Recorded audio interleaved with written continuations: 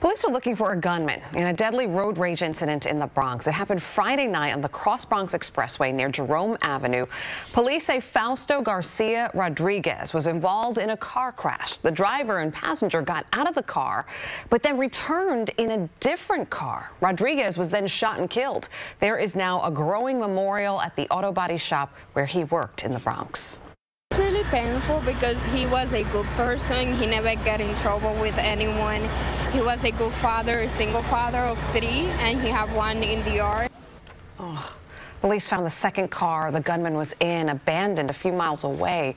So far, no arrests. Well, the charges against former President Donald Trump in Fulton County, Georgia will face a major test this week.